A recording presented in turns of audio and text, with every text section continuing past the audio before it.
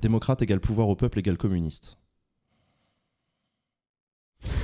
si tu veux. Il y a deux trois pays communistes où on pourrait discuter de le- leur caractère démocrate, mais c'est un autre sujet. Démocrate égale partage égale plat de pâtes carbo. Je préfère. Le communisme, c'est 500 milliards de morts.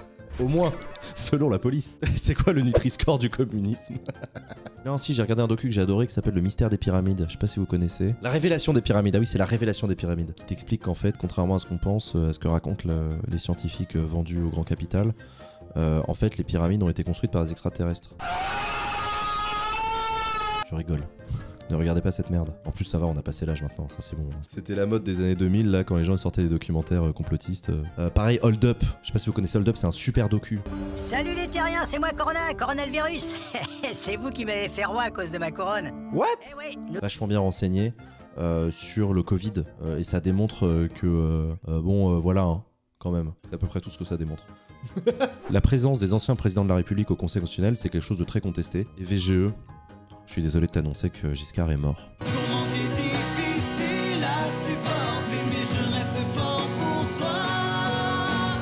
Désolé, si t'étais pas au courant, je te l'apprends. T'as fait quoi comme étude J'ai fait une école d'aviation civile et ensuite je suis devenu pilote de chasse pendant 4 ans dans l'aéronaval. J'étais déployé sur Rafale.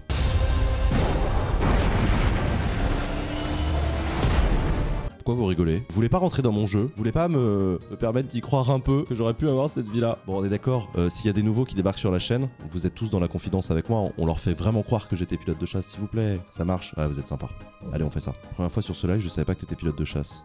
En plus, c'est vraiment ta première fois. Bah, bienvenue à toi aussi. Si, si, je suis pilote de chasse. Mais comme euh, les études pour devenir pilote de chasse étaient faciles et me laissaient un peu de temps sur le côté, euh, j'ai fait aussi euh, un bac plus 5 en sciences politiques. Vous habitez où, peuple d'internet? Y a pas un site sur lequel je pourrais comme ça créer une carte où vous demandez de tous pinguer où vous habitez et on verrait des petits points comme ça qui s'allument partout? Framacarte, ça existe Framacarte Non, parce que moi, quand j'étais pilote de chasse, j'avais des cartes militaires. On pouvait faire plein de trucs. Mais c'est des logiciels confidentiels, je peux pas vous les montrer. Ok, je vous partage le lien. Voir si vous arrivez à mettre des pings. On peut pas. Merde. La carte a été mise à jour. Normalement, maintenant, vous pouvez la modifier. Ça y est, ça commence à marcher. Ok, mettez des points là où vous habitez. En fait, dès que quelqu'un enregistre, ça écrase les modifs des autres si elles ont pas été chargées avant. en fait, on est une armée de débiles qui suppriment les points des autres. du coup, voilà, quand je fais F5, ça change maintenant. Ça change à chaque fois.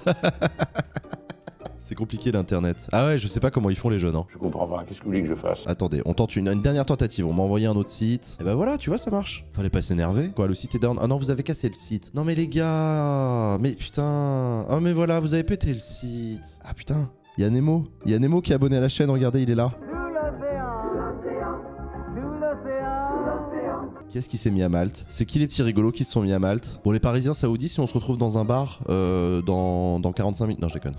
Qu'est-ce qui habite rue C'est Manuel Valls qui habitait rue Keller avant. Y a Manuel Valls qui regarde ma chaîne là, on est d'accord. Il y a, quelqu'un qui est en Chine? C'est la Corée. Ah oui, pardon. Moins 20% de crédit social. Il est pilote, pas géographe. Faut bosser géoguesseur pour la Zilan. Euh, tu rigoles, mais j'ai fait top 1 géoguesseur à la Zilan. Je suis pas allé plus loin que la poule. Mais on a fait top 1 de notre pool sur géoguesseur. Donc euh, il y a un moment euh, camembert. hein. Ce sont des vraies démonstrations de force de la part de ces deux candidats. Valérie Pécresse Ah avait un enjeu je voulais te donner un gage, c'est de parler des meetings sans dire démonstration de force. Ah bah trop tard, bah C'est les ça faut trucs les donner de- avant ça. Les trucs de journalistes euh, que t'es obligé de dire quoi. Ouais, bah, bah, démonstration de si on force. les dit, c'est parce que c'est quand même vachement pratique pour imaginer ce qu'on a en Ah bah je sais, je sais, parce que moi aussi Ah, je l'ai noté d'ailleurs, tiens, c'est marrant. Toi t'as dit démonstration de force. Voilà, bah vous êtes interdite, on redit plus démonstration de force. Ok. Tu l'avais aussi Non, non, non, je l'avais pas. Démonstration de force ou aveu de faiblesse Ou pour Valérie. Pécresse D'accord. Donc cette euh, démonstration d'entrain euh, dans, la campagne- une campagne présidentielle, à quoi ça sert ces grands meetings? Est-ce que ça a vraiment une utilité de campagne? Parce qu'on va jamais se C'est une mentir. démonstration de force avant tout. Un exercice médiatique aussi. C'est un exercice. mais- ah, vous êtes chiant, putain.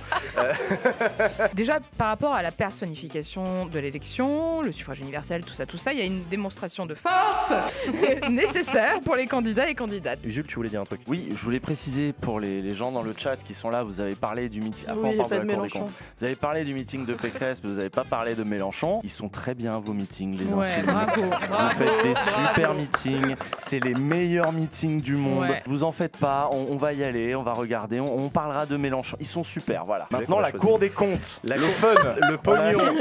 On a fait les trucs Il chiants, en maintenant le fun. forme ce soir. La moulaga. qui a plongé les déficits publics, c'était la crise de 2008. Donc euh, il y a les courbes dans le monde, hein, je crois que t'avais le- c'est ça là. On peut regarder, regardez, je vous Vas-y, si t'arrives à le montrer à l'image. Voilà. On dirait Pierre Larouturou. Vous avez. Hier, j'ai vu euh, Emmanuel euh, Le Chypre sur. euh, Voilà, tu vois qui c'est Emmanuel Le Chypre? Oui, Oui. Mais t'as vu, j'ai failli que glisser le- et j'ai bien Oui, dit oui. Chypre. Oui, oui, on a ça. T'as vu là C'est pour ça que. Non, non, c'est bon, on va, on va- on va continuer, on enchaîne, on enchaîne. Voilà, on enchaîne. C'est rien Excuse-moi. passé. Excusez-moi. Les imitations de Giscard, je crois que c'est Édouard Philippe. C'est pas dans Édouard, mon pote de droite, qu'on le Si, voit. si, euh, mais de- lui, il n'y a pas besoin de beaucoup le forcer. hein. Ouais, très intéressant. Euh, marchera pas pour deux raisons. Il sera le bienvenu sur le plateau de Backseat, Édouard Philippe, évidemment. Giscard aussi d'ailleurs. Ah bah non. C'est moche ce que tu viens de faire là. Pas bien. Attendez, bougez pas. Non mais je peux pas faire ça, t'es chiant. C'était Antoine Léaumont, euh, responsable monde de la, de la stratégie numérique de la France Insoumise. Il m'a dit, dis aux gens que je leur ai dit de s'abonner. Que moi, visiblement, quand je le dis, vous le faites pas. Et on va voir s'il y a un boost avec Antoine Léaumont. Merci Antoulme qui offre 5 subs au chat. Eh, vous allez m'en jaloux, hein. si vous abonnez parce que c'est Antoine qui vous le dit. vous- Ah, bande d'enfoirés. Merci. T'as vu ce que tu fais, Antoine? T'as pas honte? Antoine, fais un effort. Les enfoirés. Qu'est-ce que tu penses du travail d'Hugo Décrypte sur Twitch YouTube pour rendre la politique plus accessible aux gens? Bah Hugo c'est un vieux copain, hein, Hugo Décrypte et moi on a, on, a, on a fait un bout de chemin ensemble au début, hein, on a créé nos chaînes ensemble. Jeudi dernier, euh, je vous vous en souvenez sur Backseat, c'est le jour où j'ai annoncé euh, le débat du siècle. Et donc j'ai teasé sur Twitter, attention grosse annonce ce soir, attention grosse annonce jeudi, Backseat et tout, euh, préparez-vous ça va être ouf. Et lui de son côté aussi il a fait des tweets en mode euh, grosse annonce jeudi et tout. J'étais en mode ah non, j'espère qu'il va pas nous annoncer un débat entre des candidats à la présidentielle. Et du coup, il m'a envoyé un DM pour me dire euh, Alors, comme ça, t'annonces un truc, euh, toi aussi? Ouais, ouais. Toi aussi? Ouais, ouais. Are you? You are? Bon, allez, raconte Bon, allez, dis-moi. Non, vas-y, bah, balance, mec et tout. Il m'a dit Oh, t'inquiète, j'annonce juste mes interviews des candidats à la présidentielle. Fait, ah, ok, bah, très bien. très bien, tout va bien. Le gouvernement a annoncé une recapitalisation du groupe UDF, EDF. EDF.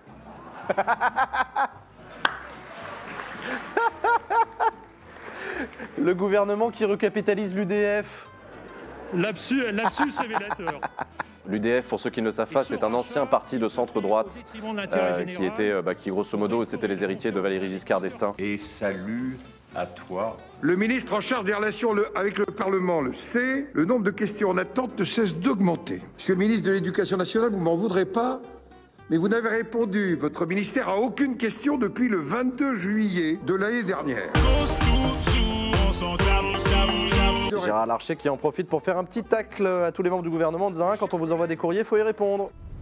Est-ce que ton chien Scott est abstentionniste? Non, non, non, non. Scott est inscrit sur les listes électorales. Il ira voter. Il ira voter. Il ira voter, En, en absolument. conscience ou il. En conscience. D'accord, Pas de vote utile chez nous. On vote en, on vote en conscience. Faut Ouais. faire un théorème, si t'es venu sur le plateau de Backseat, c'est pas bon pour ta gueule niveau euh, signature. Euh, J'avoue, il y a que des gens qui ont fait leur signature. Truc de loser. Il y a des gens qui disent Hidalgo dans le chat, ils ont raison. Oui. ah, voilà. ah bah voilà. Salut Zera. J'ai vraiment le sens du timing, vous trouvez pas? Alors la guerre. bon- Alors la guerre T'en penses quoi toi? On en pense quoi? Bah moi je suis contre, voilà. Tu vas jusqu'à regarder des meetings en entier?